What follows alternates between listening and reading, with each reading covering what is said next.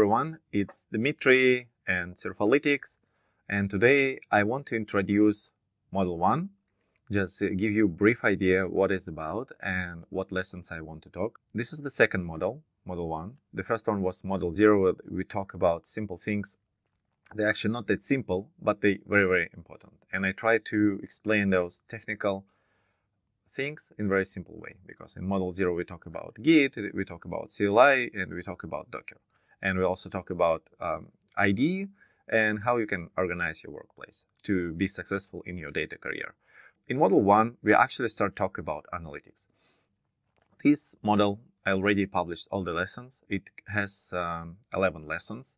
They very friendly in terms of what i'm talking about and i'm trying to explain what different roles doing with data, what the business expect from the data, why the data is so important, how the teams structure it, how teams operate, and so on and so on. This will be extremely helpful for anyone who wants to work with the data, who wants to actually get the position either data engineer or analytics engineer or just data analyst, or even if you still work with data but from data science or machine learning or you work in the tech, maybe you're a software engineer, front-end engineer, and you interact and collaborate with data folks. Maybe you're just the manager who want to lead the data team. Maybe a software manager who has some data folks in your team and you want to be helpful for your organization for the data work. Maybe you're sales manager who's selling uh, different solutions for the data folks. Maybe you startup person who actually built the data product. So I think this video, the first model, serve as a one model fits everyone. And it's starting from simple things, the role of analytics. So we'll first uh, see and dive in to understand what's the role of analytics, uh, and then what's the goal of analytics. And then I will trying to explain you how the analytics solution looks like from architecture point of view. We'll create the simple architecture and moving towards outline. For example, we have the business process going on. There's different data sets and we're trying to model the architecture of this solution and then we'll talk about different use cases and scenarios, and especially we'll talk about different data roles and what their responsibility. So on the course of Surfalytics, as you know, this is totally free course that you can obtain the skills to how to be the data analyst, how to be BI engineer, analytics engineer, and data engineers. And I published the roadmap, the, actually the same roadmap uh, I will include in this lesson because as soon as I will cover the key architecture, uh, the next thing what I'm going to talk about what their roles exist and what they're doing in this architecture, how they can interact with the data, how they can interact with the business.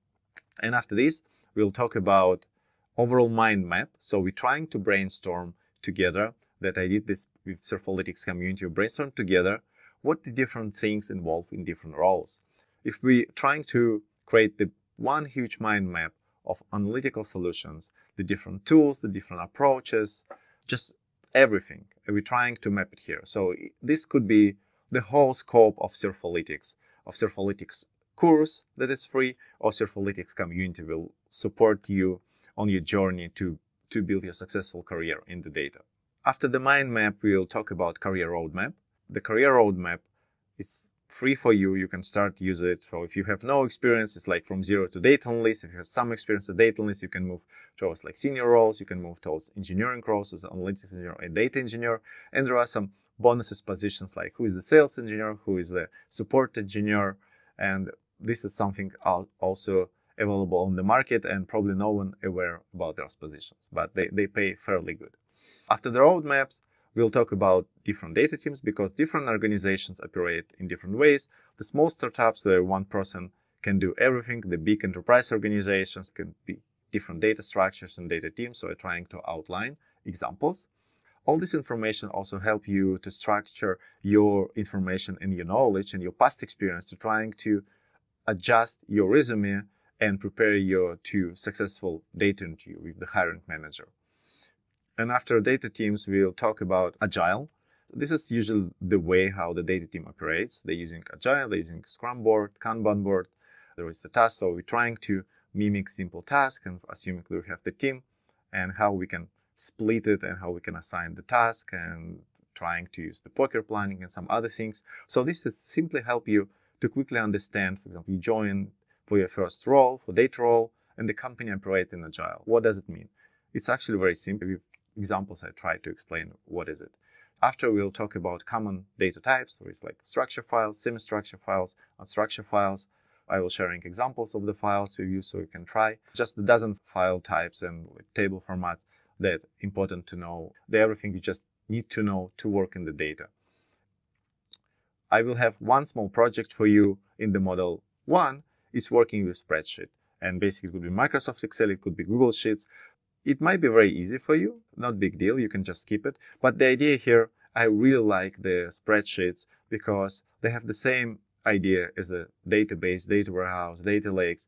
You have tables, you have sheets as a table, you have column in rows. You just have less data uh, and you can operate in your Google Sheet, for example. As soon as you understand the concept of spreadsheets, it will be fairly easy for you to understand the SQL, learn SQL, and operate with data either in SQL or maybe in Python with data frames, pandas, and so on.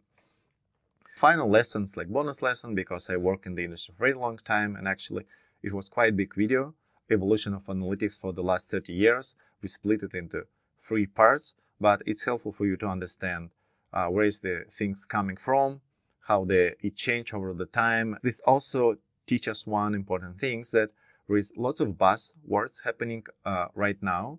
You should be really careful before actually going to learn. Like, for example, probably nowadays everyone learning LLMs, generative AI. It doesn't mean that it's important for your job. There are probably more important things for your role in the job and for your data career that you can focus, like fundamentals things or the things that work in the industry versus just trying to catch all the hype words and all buzzwords and just follow the trends.